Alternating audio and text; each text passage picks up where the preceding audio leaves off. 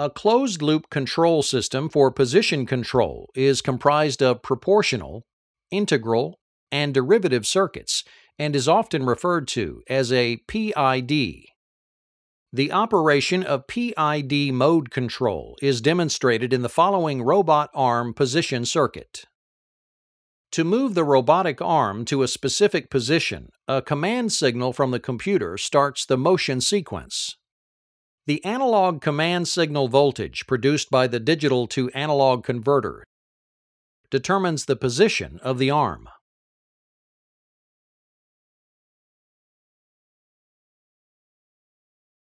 The potentiometer attached to a robotic arm in the circuit indicates the actual position. The variable voltage produced is referred to as the feedback signal. When the feedback signal voltage matches the command signal voltage, the arm has reached the desired position. For example, with the arm at the bottle pick position, the potentiometer output voltage of 0 matches the command signal of 0 from the computer. To change the arm to another position, a command signal from the computer is required. The command signal from the computer consists of binary numbers that increment until a value is reached that represents the desired position. The binary value is then converted to an analog voltage by the digital to analog converter that indicates the position that the arm is required to move. In this system, there is not an immediate response by the robotic arm and the command signal. The delay of the arm and feedback signal creates a positive error signal voltage at the output of the difference op amp. The error signal is inverted by the proportional difference op amp to a negative voltage. The voltage is then amplified by the power amp and inverted to a positive voltage and applied to the motor of the robotic arm.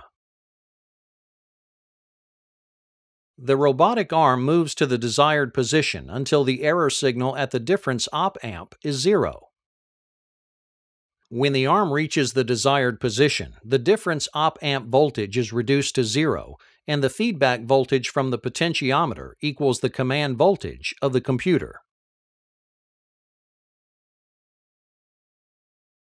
To increase the response time of the robotic arm to the command signal, the gain of the proportional amplifier can be increased. Increasing the gain of the op amp has a disadvantage where the robotic arm overshoots the targeted position.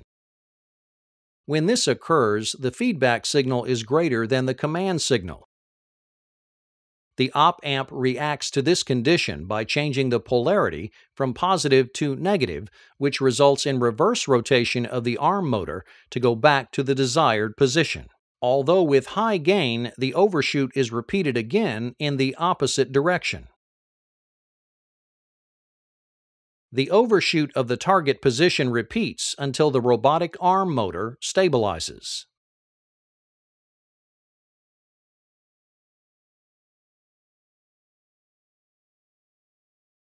To achieve a fast response time and minimize overshoot of the desired position, a derivative amplifier is added to the circuit.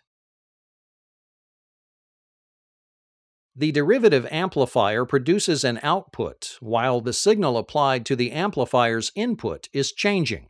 As the arm lags behind the command signal, the error signal generated causes the derivative amplifier to produce a voltage that adds to the output of the proportional amplifier.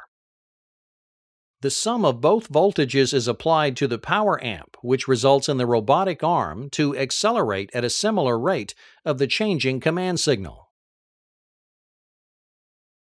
The error becomes constant when the voltage from the potentiometer indicates that the robotic's arm position is changing at a constant rate of the command signal. At this time, the derivative voltage changes to 0 volts and the proportional amplifier continues to produce a voltage. As the command signal stops changing, the robotic arm continues to move with a decreasing error signal. As the error is reduced, the derivative amplifier output voltage changes polarity and cancels the proportional voltage. If the error signal decreases too fast, the derivative voltage will be greater than the proportional voltage. When this occurs, the polarity of the power amp is reversed, creating a brake condition to prevent overshooting the desired position. As the arm continues in motion, the feedback voltage is nearing the command voltage. The error signal from the difference op amp is also decreasing, and as a result, the arm motor speed decreases friction, and mass of the robotic arm contribute to the system negatively where the robotic arm fails to reach the desired position.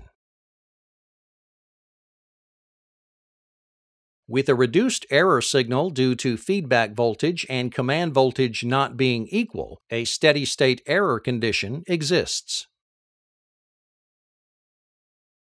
In this condition, the difference op amp creates a steady voltage and the arm continues to move. To overcome the steady state error, an integral amplifier is added to the circuit. With an error signal of zero, the output voltage of the integral amplifier is zero. The integral amplifier increases gain depending on the duration of the error signal. For example, the longer the error is present, the larger the amplifier gain.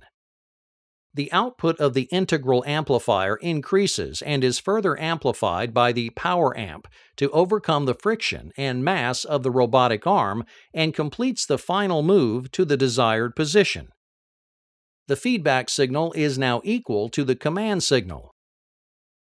Output voltages of the amplifiers are zero and the robotic arm motor stops turning.